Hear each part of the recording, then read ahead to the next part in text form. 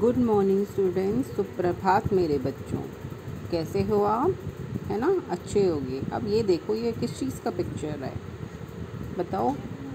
ये आपको देखने से ही लग रहा है, बारिश का है या झरने का है है ना? आप ये देख सकते हैं। तो झरने के पास भी ऐसे छींटे पड़ते हैं। तो ये चित्र जो है, थोड़ा सा झरने का। देखो, यहाँ से झरने, झरना गिर रहा है। ठीक है? और लेकिन इसकी छींटे जो है ना, यहाँ तक ऐसे ऐसे पड़ रही है। क्लियर अब हम देखेंगे। क्या कभी आपने अपने ऊपर से पा, गिरता पानी या झरना देखा है? पानी तो गिरता है। जब आप घर पे भी बाथरूम में नहाते हो, शावर ऑन करते हो तो ऊपर से पानी गिरता है ना? अच्छा लगता है ना बच्चों को शावर में नहाना? उसी तरह से। क्या आपको झूला झूलने में डर लगता है या मज़ा आता है? आप बताओ, आपको झूला झूलने में डर लगता है या मज़ा आता है? ये दो क्वेश्चंस आपको अपने पेरेंट्स को बताने हैं, ठीक है? हो सकता है गर्मियों की छुट्टियों में आप कहीं पे हिल स्टेशंस में जाते हो, वहाँ आपने पानी के झरने भी देखे होंगे। जैसे अगर आप शिमला मनाली जाते हो या आप साउथ में जाते हो तो वहाँ पे पानी के झरने होते हैं। है ना? तो आपने वो देखे होंगे। तो आज हम यही जानेंगे इस पोएम के अंदर।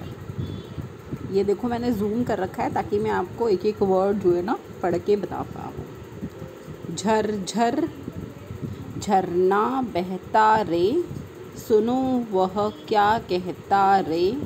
सावन आया, बारिश लाया, झूला झूलो कहता रे। झटपट झूला बांधो रे। फिर झटपट चढ़ जाओ रे। धक्का मारो ज़ोर से, झूला ऊपर जाओ रे। ठीक है, ये आपने ऑलरेडी देखा होगा। आप में से बहुत सारे बच्चों के घर में झूला भी पेरेंट्स लगा देते हैं बच्चों के लिए, छोटे बच्चों के लिए। आपने देखा होगा, झूले को हिलाने के लिए हमें पीछे से धक्का देना पड़ता है। ठीक है? तो यहाँ पे बताया गया है कि सावन के मौसम में जब बारिश होती है तो झूले में झूलने में बहुत मज़ा आता है।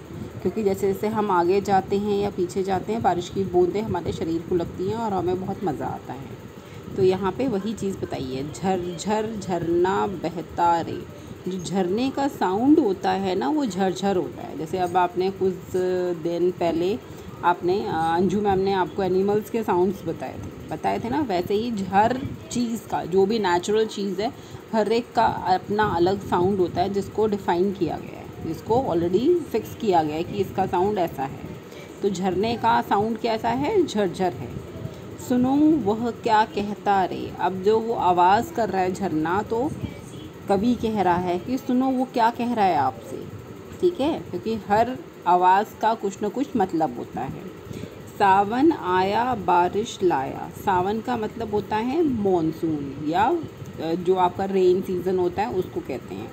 सावन आया, बारिश लाया। जो सावन है, वो क्या लाता है अपने साथ? बारिश लेके आता है। झूला झूलो कहता रहे। अब सावन के टाइम पे आपने देखा होगा, झूला झूला जाता है। जैसे आप हमारे नॉर्थ इंडिया में तीज का फेस्टिवल मनाया जाता है, जो कि सावन के महीने में ही में ही मनाया जाता है और तब झूला बांधा जाता है एक तरीके से, है ना? तो यानी सावन में झूला झूलने का अलग ही मज़ा होता है और सावन जो हमारा सीज़न है, ठीक है, मौसम है, वो हमें बताता है कि झूला लगा लो अब आप, कि झूलने का वक्त आ गया है। झटपट झूला बांधो रे, झटपट यानी जल्दी से। ठीक है, झूला बांधो रे। बांधना पता है आपको, झूला पता है। फिर झटपट चढ़ जाओ रे। फिर बांधने के बाद उस उस पर झटपट चढ़ जाओ, या झटपट यानी बहुत जल्दी से चढ़ जाओ, यानी चढ़ना, ठीक है? धक्का मारो ज़ोर से। अब झूले को चलाने के लिए या झूलने के लिए पीछे से कोई कोई धक्का मारेगा। तो इसमें बताया गया धक्का यानी पुश करना है, मारो ज़ोर से। झूला ऊपर जाओ रे। अब झूले को कह रहा है कि धक्का तो तुम्हें मार दिया गया है, अब तुम्हें ऊपर जाना है। ठीक है? तो ये वाली पोयम जो है, आप इसमें झ अक्षर का शब्द उच्चारण देखेंगे। कि इस टाइप से हम झ अक्षर का उच्चारण करते हैं और कौन कौन से वर्ड होते हैं झ अक्षर के। अब जैसे यहाँ पर रेड किया हुआ है, झरझर में झ है, झरना में झ है, झूला और झूलों में झ है। झटपट झूला।